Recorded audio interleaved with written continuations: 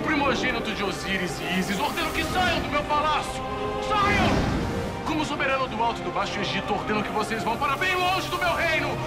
Para além da fronteira do Egito! Fora daqui! Fora!